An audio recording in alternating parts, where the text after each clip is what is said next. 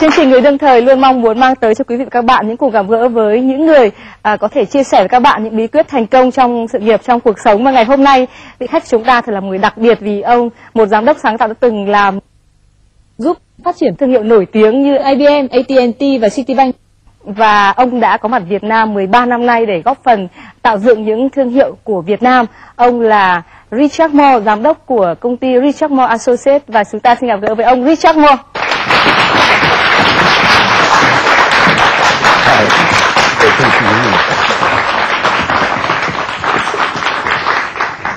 Trong Richard, chúng tôi muốn ông hãy tự giới thiệu về bản thân mình giống như là ông đang đưa ra một tấm các visit cho những người khán giả xem truyền hình của Việt Nam của chương trình người đương thời của chúng tôi.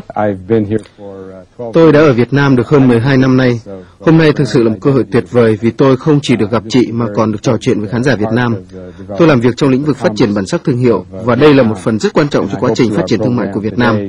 Tôi hy vọng rằng chương trình này, nhiều doanh nghiệp Việt Nam sẽ có thể hiểu thêm về lĩnh vực quan trọng này người ta hay dùng ba ba điều để có thể nói về hình ảnh của một con người nếu như bây giờ ông dùng ba từ để nói hình ảnh của ông hoặc là ông dùng ba màu sắc để nói về ông hoặc là ông dùng ba nét vẽ để vẽ về ông thì ông sẽ dùng những cái màu sắc gì hoặc là nét vẽ gì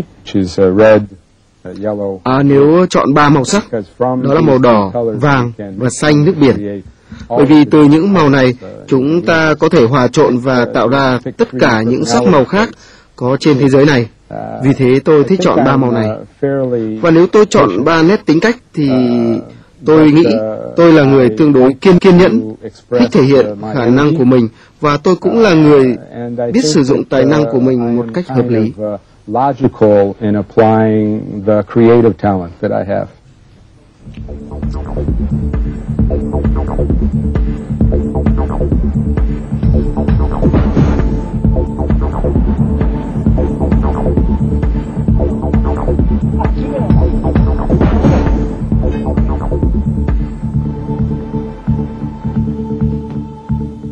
Đơn giản thế này thôi ạ?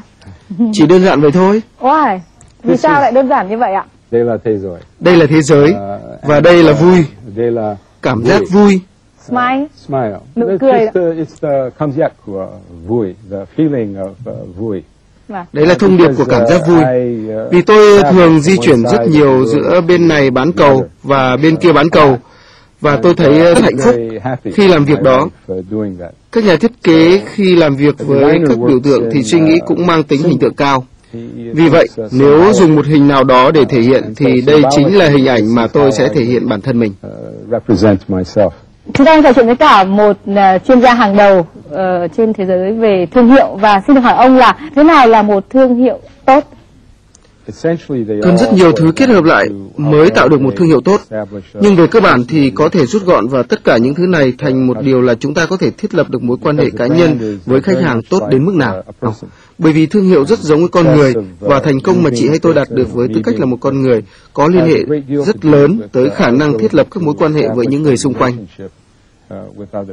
Ông vừa nói một thương hiệu tốt là một thương hiệu giống như một con người, thế vậy thì thương hiệu không tốt là thương hiệu gì ạ? Uh, một thương hiệu không tốt giống như một người không thành công trong công việc cũng như trong mối quan hệ với những người xung quanh. Nếu chúng ta tìm hiểu lý do tại sao người ta lại không thành công trong công việc hay trong mối quan hệ với những người xung quanh, thì chúng ta có thể nhận thấy rằng đó là vì họ không được nhất quán cho lắm. Họ chuyển hết công việc này đến công việc khác. Họ không bao giờ dành đủ thời gian và công suất trở lại tại một chỗ để trở nên thực sự giỏi ở vị trí đó. Hoặc họ rất hay thay đổi suy nghĩ về cách thể hiện con người mình cũng như trong việc lựa chọn bạn bè. Và như thế, chẳng mấy chốc mọi người sẽ mất lòng tin ở họ. Người ta sẽ không hiểu được thực sự đó là người như thế nào. Thương hiệu cũng rất giống vậy. Trừ khi một thương hiệu có định hướng rõ ràng trong lĩnh vực kinh doanh của mình và duy trì sự nhất quán đó trong nhiều năm. Nếu không, mọi người sẽ băn khoăn không rõ thương hiệu đó làm cái gì.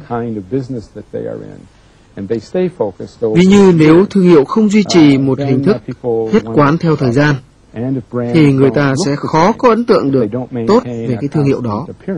Từ xưa thì người Việt Nam hay có một cái câu là tốt gỗ thì hơn tốt nước sơn. À, tức là cái chất lượng mới là cái quan trọng hơn cả. Thì ông nghĩ sao về điều này? Người tiêu dùng không phải là những người ngờ nghệch đâu. Họ sẽ không mua một sản phẩm chất lượng kém, cho dù bao bì hay thương hiệu của sản phẩm đó có đẹp đến mấy. Song trong thương mại, thì thường xuyên có những sản phẩm mới được giới thiệu ra thị trường và trong xây dựng thương hiệu, điều quan trọng phải tạo được một ấn tượng tốt nhằm khuyến khích mọi người dùng thử một thương hiệu mới hoặc một sản phẩm mới. Nếu họ không thử sản phẩm thì họ sẽ không bao giờ trở thành một người khách hàng gắn bó được cả. Người tiêu dùng Việt Nam thì có lẽ cho tới khoảng 5, thậm chí là 10 năm trước, theo ý kiến của tôi thì họ thông minh hơn nhiều so với người tiêu dùng ở nhiều nơi khác trên thế giới, kể cả ở đất nước tôi, bởi vì họ chỉ quan tâm đến chất lượng sản phẩm, họ không quan tâm đến chất lượng bao bì, họ muốn biết chắc giá trị của sản phẩm. Xong giờ đây mọi thứ đã khác. Giờ đây người tiêu dùng của Việt Nam cũng trở nên giống với người tiêu dùng tại các thị trường tự do khắp nơi trên thế giới, bởi vì họ không chỉ chịu tác động bởi chất lượng của sản phẩm và dịch vụ mà còn chịu ảnh hưởng của chất lượng bao bì, hình thức logo, chất lượng quảng cáo, vân vân. Ông có nói rằng là thương hiệu tốt thì sẽ không quá thay đổi quá thường xuyên. Vậy thì nếu như chúng ta đã chót là có thể nói là tạo ra một thương hiệu không chuyên nghiệp thế thì chúng ta sẽ làm thế nào? Tên thương hiệu thường khó thay đổi nhất bởi vì việc uh, này thường liên quan đến việc dùng một tên gọi hoàn toàn mới chứ không phải chỉ thay đổi một nét gì đó. Mẫu logo cũng có thể được thiết kế lại với những đặc điểm nhận diện gắn với mẫu logo mà doanh nghiệp hiện có. Câu định vị thương hiệu thường được gọi là khẩu hiệu thì có thể được thay đổi thường xuyên hơn tên thương hiệu hay logo. Nhưng cũng không nên thay đổi quá nhanh. Điều mà chúng ta cần phải cân nhắc là hình ảnh của công ty hiện tại có gì chưa ổn và đánh giá những thuận lợi khi cải thiện hình ảnh đó, cũng như thận trọng xác định những bất lợi khi thay đổi hình ảnh đó. Uh, what we have to evaluate is how bad uh, is the uh, image.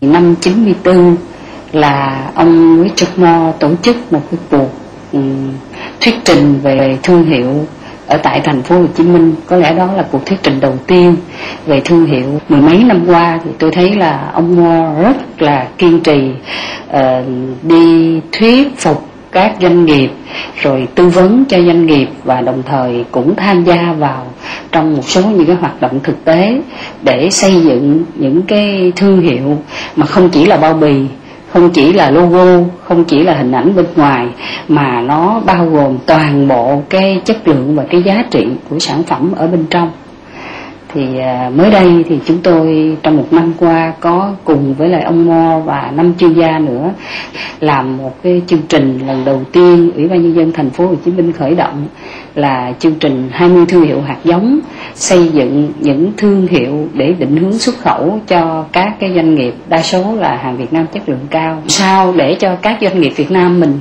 khi mà hội nhập á, thì ờ, làm chủ được cái quá trình xây dựng thương hiệu của chính mình? Như là một cái tài sản mà hơn ai hết. Ông Moore và các công ty Hoa Kỳ hiểu rằng đó là một tài sản rất là lớn. Thậm chí, nếu mình xây dựng tốt thì nó có khi còn lớn hơn cả cái tài sản hữu hình mà bản thân các cái doanh nghiệp có. Thì tôi nghĩ trước nhất, đó là một người yêu nghề, một người chuyên nghiệp. Đồng thời, tất nhiên là tại sao ông không ở bên mỹ để làm ăn mà ông đeo đuổi việt nam thì cũng có cái tình yêu việt nam. Ừ. Ông Richard Moore đã tới Việt Nam như thế nào? Vì sao ông lại quyết định ở lại Việt Nam và gắn bó sự nghiệp của mình với Việt Nam? Đó chính là um, nội dung của phần nói chuyện này của chúng ta. Vâng, ông Richard Moore, ông hãy kể về việc là ông đã tới Việt Nam như thế nào. Oh. Đó là 13 năm trước đây khi tôi đến Việt Nam lần đầu tiên. Và lúc đó thì Việt Nam được báo chí nhắc đến như một điểm du lịch mạo hiểm. Hơn nữa, trong thời gian chiến tranh ở Việt Nam, tôi cũng tham gia biểu tình phản đối chiến tranh này. Do đó, tôi khá tò mò muốn biết Việt Nam đã thay đổi như thế nào. Tôi đã rất tò mò muốn biết về đời sống của những nhà thiết kế như tôi ở đây như thế nào. Họ làm những việc gì. Và thế là tôi cũng thu xếp gặp gỡ được một vài người. Và tôi nhận thấy họ rất có tài, song họ không hề biết gì về marketing là một nhà thiết kế thì quan trọng là phải biết được thiết kế dùng để làm gì và ở thị trường tự do thì thiết kế được dùng cho mục đích marketing. Bên cạnh đó, tôi cũng nhận thấy những kết quả của một số các nhà doanh nghiệp. Tôi ờ, không được gặp nhiều người trong số họ, nhưng qua những gì họ làm tôi nhận thấy họ hiểu rất ít về giá trị của việc thiết kế trong marketing. Bởi vì cái thị trường này có thể nói là non trẻ và còn đầy cơ hội hay là vì thực sự ông muốn uh, ông muốn có một cái sự nghiệp của mình ở đây Tôi nghĩ là cả hai, giảng dạy và kinh doanh. Tôi đã rất may mắn trong nghề nghiệp của mình. Vài năm trước khi tôi đến đây, chúng tôi đã bán công ty ở New York cho một tập đoàn quảng cáo lớn nhất thế giới lúc bấy giờ. Thế là bỗng dưng tôi có thời gian của riêng mình. Tôi mới có chừng 50 tuổi. Vâng, đối với tôi thế vẫn còn trẻ.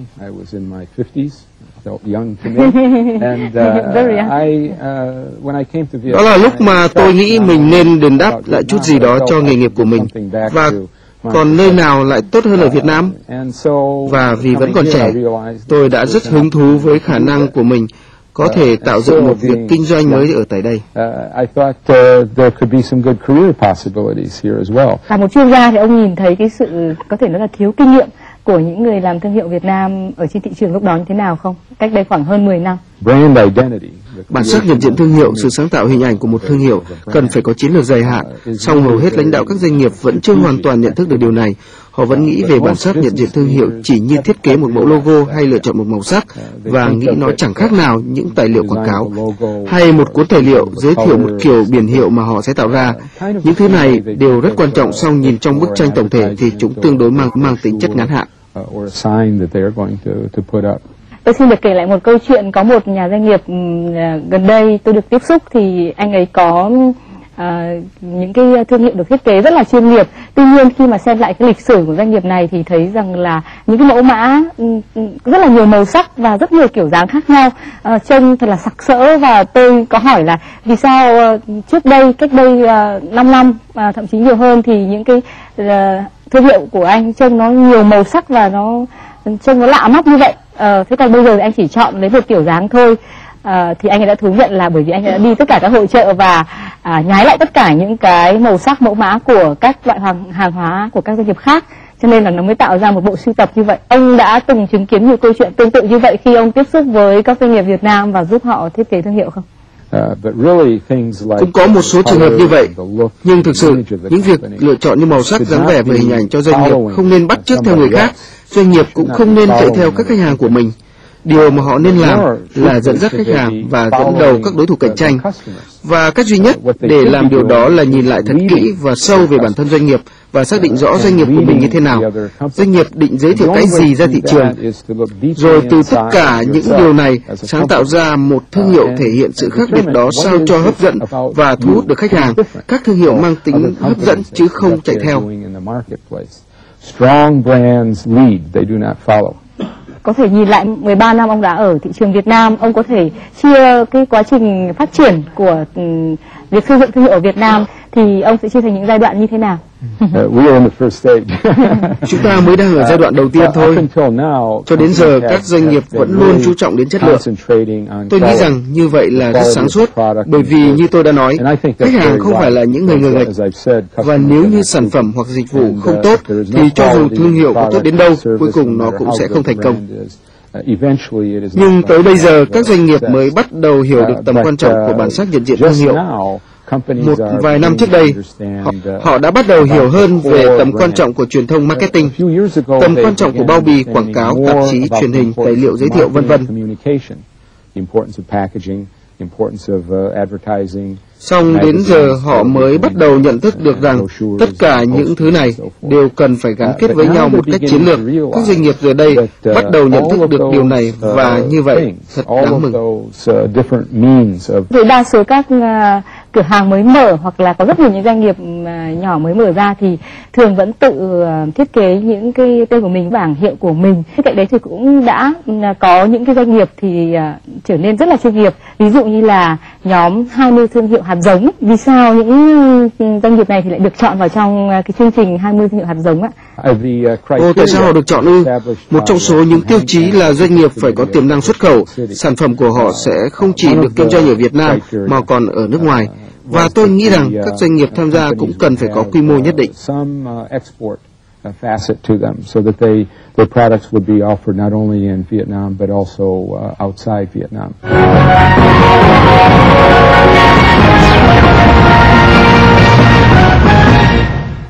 Vimasol là một trong những cái công ty đầu tiên làm việc với công ty Researchmore tại Việt Nam.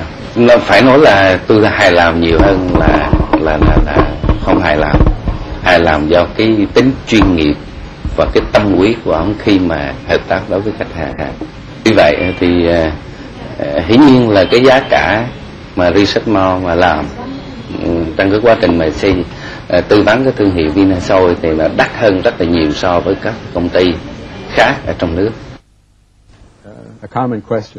Đây là một câu hỏi rất thường gặp. Thực sự thì phí dịch vụ của chúng tôi là khá hợp lý và phải chăng. Không chỉ so sánh với quốc tế thì mức phí của chúng tôi vẫn thấp hơn rất nhiều. Tôi nghĩ phần lớn các doanh nghiệp ban đầu đều nghĩ như vậy là tốn quá nhiều tiền, nhưng công việc của chúng tôi không đơn giản là tạo ra mẫu logo hay tên gọi. Thực tế là để sáng tạo ra logo và bản sắc nhận diện thương hiệu bao quanh mẫu logo ấy đòi hỏi nhiều công sức hơn. Và trước khi thiết kế thì có rất nhiều công việc phải chuẩn bị được hoàn tất để đảm bảo kết quả cuối cùng và mọi thứ hoạt động có hiệu quả và mang tính gắn kết cao.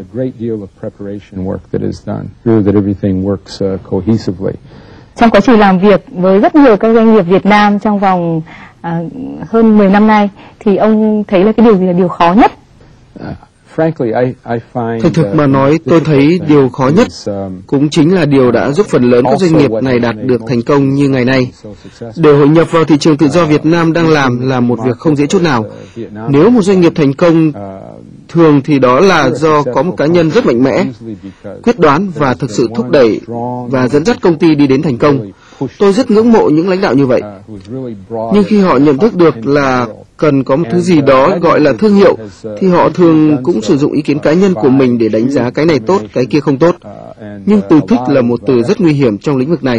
Truyền thông thương hiệu có hiệu quả không phải là theo những gì mà một giám đốc thích. Nhà tư vấn cũng không nên làm theo những gì mà họ thích. Và đi xa hơn nữa, thậm chí về việc khách hàng thích là cũng không thực sự quan trọng nữa. Điều thực sự quan trọng là kết quả làm ra phải đạt được mục tiêu và tìm chỗ đứng thích hợp trong tâm trí khách hàng.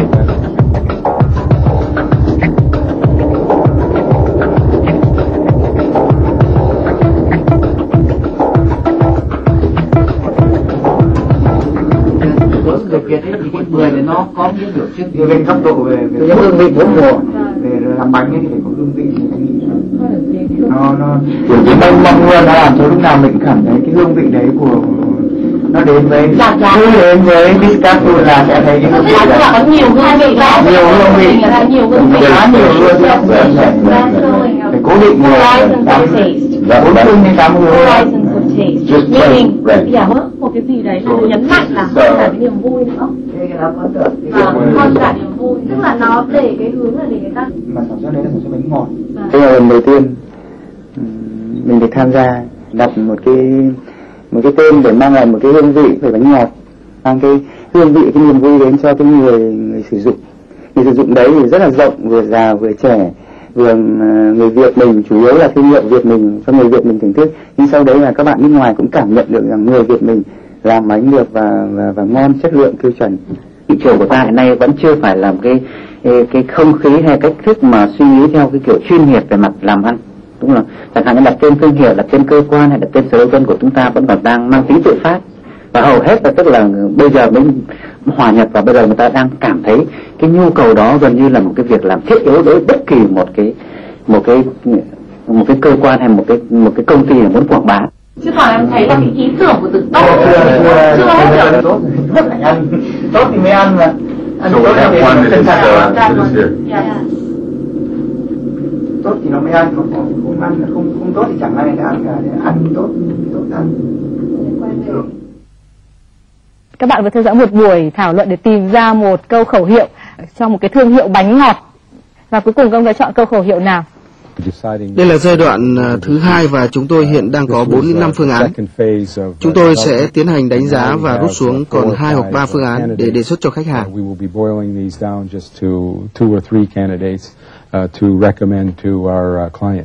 Trong những cái khẩu hiệu đã được chọn thì có mấy cái khẩu hiệu là của ông?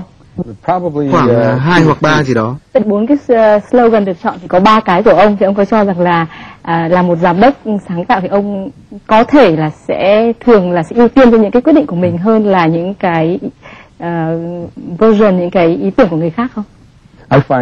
Khi những buổi họp như thế này thực sự diễn ra với bầu không khí rất sôi nổi, uh, nó giống như một quá trình nấu bếp. Uh, có rất nhiều ý tưởng trôi lơ lửng xung quanh, và đôi lúc đâu đó trên bảng, bạn có được một ý tưởng nào đó tuyệt vời và rất khó xác định rõ ai là người làm nên ý tưởng đó. Nó bắt nguồn từ một phần ý tưởng của người này, và ý tưởng này giúp cho một người khác có một ý tưởng khác, và rồi đến lượt ý tưởng ấy lại giúp bật ra một ý tưởng khác nữa từ một ai đó. Thế rồi bỗng nhiên câu trả lời nằm ở đó và nó là kết quả của tất cả mọi người. Quá trình này thực sự rất thú vị và là cách làm việc mà tôi rất thích. Do đó nếu có một ý tưởng là của tôi, tôi luôn cố gắng hết sức để hoàn toàn không thiên vị ý tưởng của riêng mình. Nếu như so sánh quá trình này với cả một quá trình nấu bếp thì ông tự ví mình với người nếm hay là người nấu bếp? Vai trò của tôi là nếm các món ăn và cuối cùng là đánh giá, à giờ thì món này ngon và đạt mức chất lượng để bày cho khách hàng của chúng ta.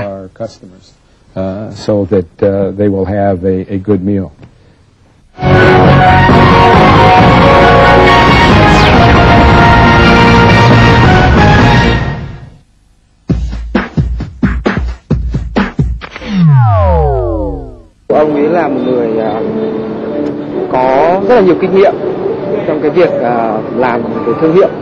Một người rất chuyên nghiệp và và rất cẩn thận.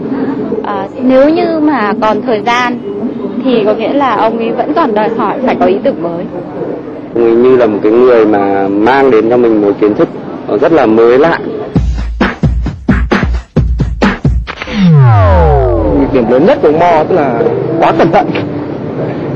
Đối với đối với nghề của mình thì nhiều khi nhưng mà thực ra thì uh, cẩn thận thì là tốt thôi nhưng mà ông ấy quá cẩn thận nên là nhiều khi mình là nhân viên ở dưới quyền ấy thì cũng thấy hơi hơi khó chịu cái tính cẩn thận của ông ấy làm cho mình khó chịu uh, tôi đồng ý là tôi có đôi chút hơi khắt khe, song tôi nghĩ như thế là hoàn toàn hợp lý. Tôi nghĩ những nhà thiết kế trong nghề như chúng tôi thường làm việc nhiều giờ hơn những người khác. Nếu như được so sánh cái quá trình làm việc ờ, của các ông thì ông có thể so với uh, với cả một cái uh, uh, ngành nghề nào? Đó giống như là một nghề bác sĩ. Thường thì doanh nghiệp tìm đến với chúng tôi là vì họ gặp một vấn đề gì cần phải giải quyết. Hiểu theo một nghĩa nào đó thì đó là vì họ bị ốm ốm và họ cần phải kiểm tra sức khỏe.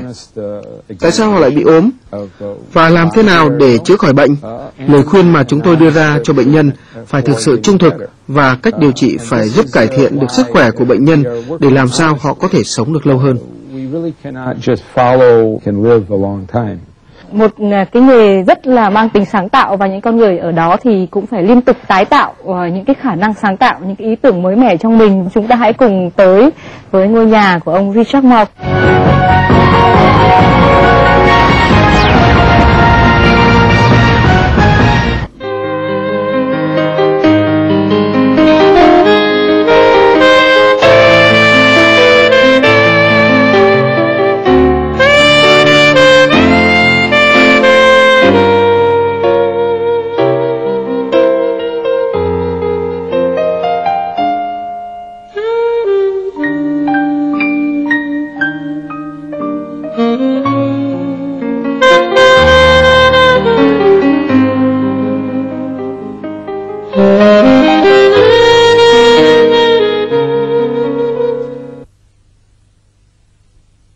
cho biết là ý nghĩa của những à, bức tranh mà ông treo trong ngôi nhà của mình không ạ?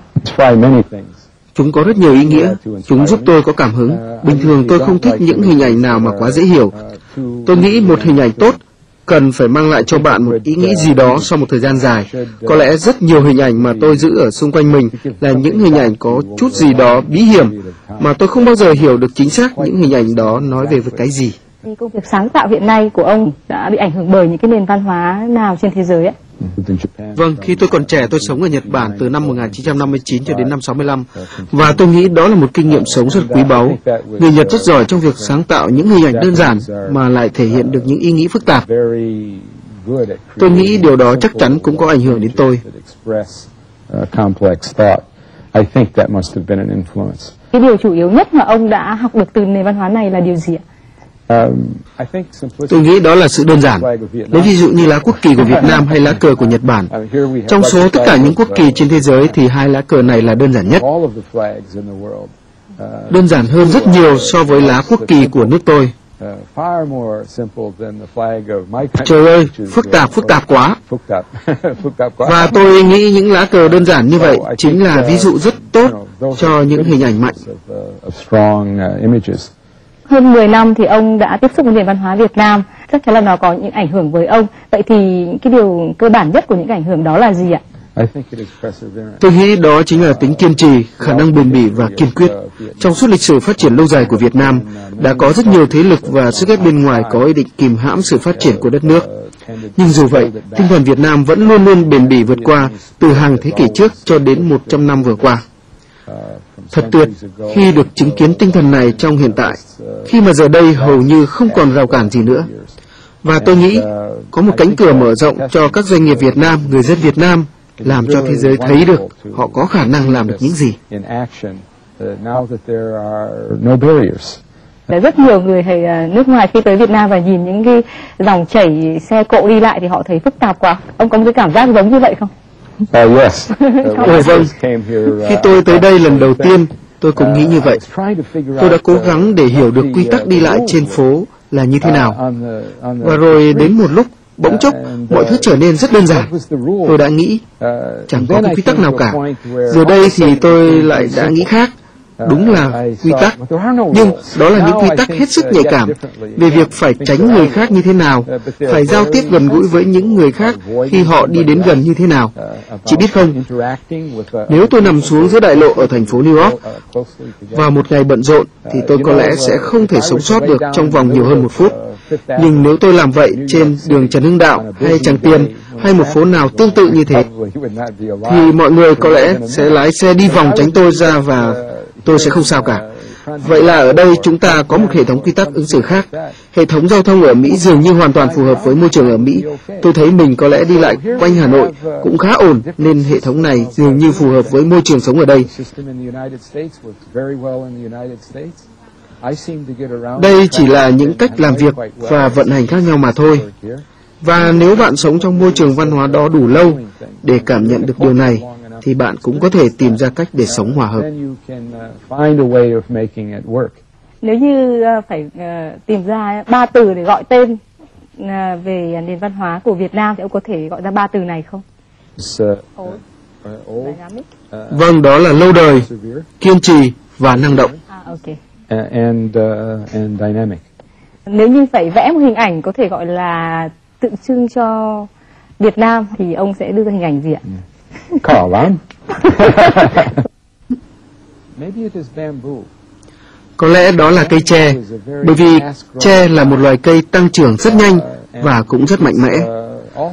Song đó không phải là một loài cây quá cứng nhắc. Cây tre là một loài cây có thể đu đưa linh hoạt theo từng thời điểm mà vẫn đứng thẳng và rất đáng quý.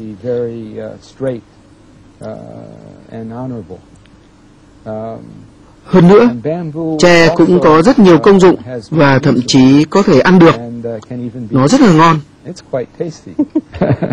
Phần tiếp theo chúng ta sẽ bàn về câu chuyện làm thế nào để có thể uh, tạo dựng được những thương hiệu uh, của Việt Nam trên thế giới.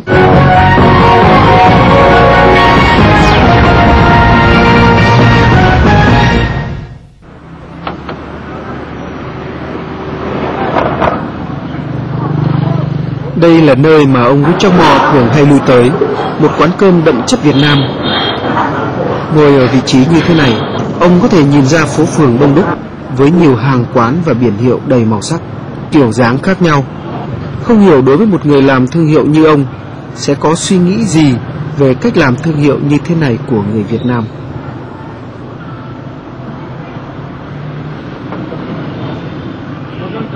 Phở, tiệm phở, phở gà. Đây là một hình ảnh rất là đặc trưng của các cửa hàng ở Việt Nam. Ông có thể có cái nhận xét gì về cách thiết kế của những cái thương hiệu này không ạ?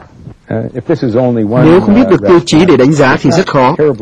Nhưng đối với một nhà hàng như thế này cũng khá là đơn giản. Điều đó cũng không quá mức quan trọng, bởi vì chỉ cần một địa điểm, và bản thân địa điểm đó cũng chính là một dạng bản sắc của thương hiệu rồi. Nhưng điều mà tôi nhận thấy ở những biển hiệu này là tên gọi được thể hiện bằng một kiểu chữ hết sức giống nhau, không hề có sự nỗ lực nào để tạo ra sự khác biệt. Nếu không có sự xử lý nào đó đối với kiểu chữ hay sáng tạo một biểu tượng nào đó đi kèm với kiểu chữ thể hiện tên nhà hàng thì hình ảnh sẽ không độc đáo. Qua đó, có thể thấy biển hiệu đó nói lên rằng nhà hàng này cũng chẳng có gì khác so với bất kỳ nhà hàng nào khác. Ở Việt Nam, chúng tôi đang có một cuộc vận động là xây dựng thương hiệu Việt. Thì ông có ý kiến gì về điều này? Tôi nghĩ sẽ rất phù hợp nếu xây dựng thương hiệu cho Việt Nam như một điểm đến du lịch. Tuy nhiên, tôi nghĩ sẽ rất khó và có lẽ không thể xây dựng được thương hiệu cho một quốc gia. Thương hiệu quốc gia chủ yếu là được tạo dựng từ những gì mà các doanh nghiệp của quốc gia đó đã làm được. Khi các doanh nghiệp tạo dựng được sản phẩm chất lượng cao và được cả thế giới tôn trọng, thì đó sẽ là thái độ tôn trọng mà những quốc gia khác trên thế giới dành cho quốc gia đó. Khi tôi đến Nhật Bản lần đầu tiên vào năm 1959, lúc đầu tôi nghĩ mình sẽ trở về Mỹ sau 60 ngày, nhưng cuối cùng tôi đã ở lại đó đến 6 năm. Thời điểm đó hầu hết người Mỹ đều nghĩ rằng hàng hóa của Nhật Bản là rất rẻ tiền. Và khi ấy thì cái từ Made in Japan thì có ý nghĩa gì ạ? Nó có nghĩa là chất lượng kém, là hàng nhái và thiếu sáng tạo. Khi tôi trở về Mỹ vào năm 65, nhận thức của tôi đã thay đổi. Tôi biết rất rõ rằng người Nhật đang làm ra những loại hàng hóa có chất lượng thực sự tốt và tôi hoàn toàn ngạc nhiên khi thấy thái độ của những người Mỹ vào những năm 65. Và có lẽ phải mất đến 10 năm trước khi nhận thức theo kịp với thực tế là sản phẩm của Nhật Bản thực sự có chất lượng tốt. Nhận thức đã tụt hậu so với thực tế những gần 10 năm. Những tình hình thế giới bây giờ đã khác. Bây giờ mọi thứ đã diễn ra nhanh hơn rất nhiều. Việt Nam có cơ hội nếu các bạn có thể tạo ra những sản phẩm chất lượng cao và học được cách làm thương hiệu cho những sản phẩm ấy. Ông có thể nhớ lại vào những năm à, 90 khi lần đầu tiên ông tới Việt Nam thì khi ấy cái từ Made in Việt Nam đối với ông đã là gì ạ? Nó rất giống với hình ảnh của Nhật Bản mà tôi đã kể. Hình ảnh ấy tương đối giống nhau, bởi vì những gì tôi thấy lúc đó là hàng hóa chất lượng không được tốt lắm. Hàng hóa không có tính sáng tạo, và hàng hóa nhìn chung thường có giá trị rất thấp. Khi ông nhìn thấy cái hàng chữ Made in Việt Nam trên một mặt hàng lần đầu tiên thì đó là mặt hàng gì? Đó là một chiếc bát sơn mài trong một tiệm bán quà tặng tại Mỹ. Tôi uh, cầm nó lên và tôi lật đáy lên và ở đó có dòng chữ Made in Việt Nam. Tôi thấy khá tốt bởi vì chất lượng của chiếc bát sơn mài đó khá tốt và tôi nghĩ thế là Việt Nam đang bắt đầu quá trình sản xuất hoàng hóa chất lượng cao đây.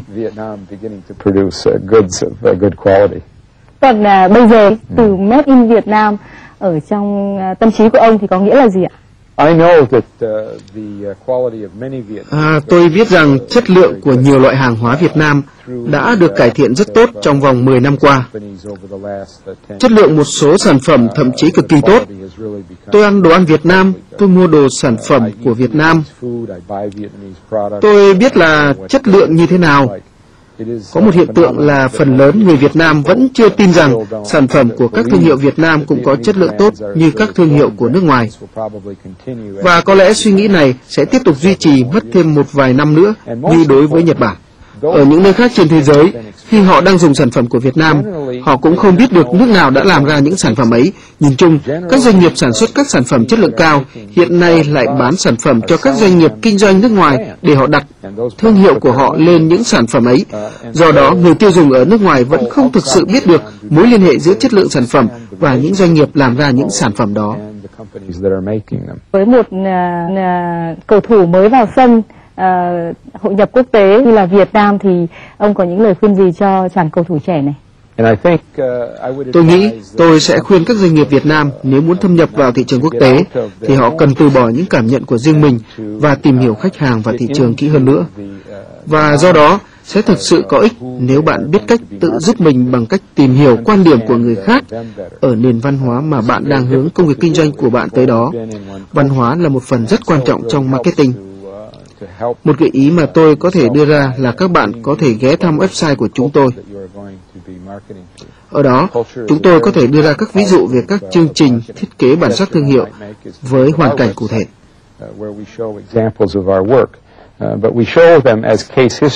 Hơn 10 năm ở Việt Nam, vậy cuối cùng thì ông sẽ được gì cho chính bản thân mình và gia đình mình?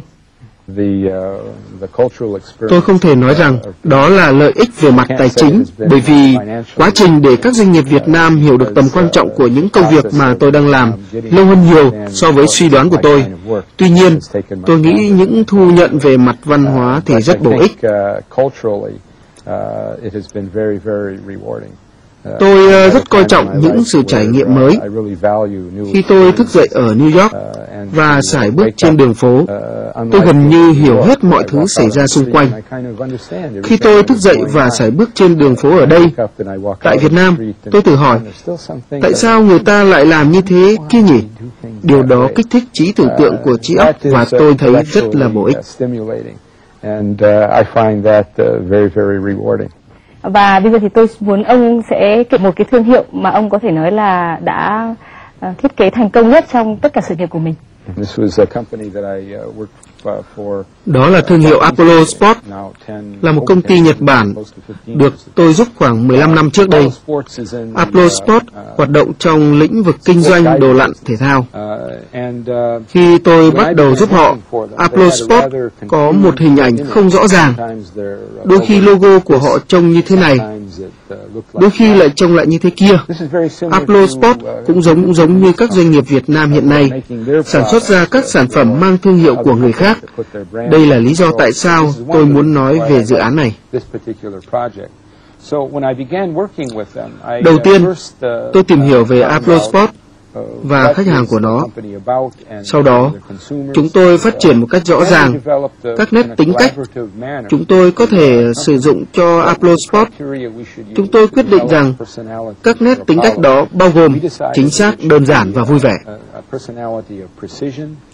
Một trong những lý do khiến tôi hài lòng nhất với bản sắc thương hiệu sáng tạo cho nó chính là logo.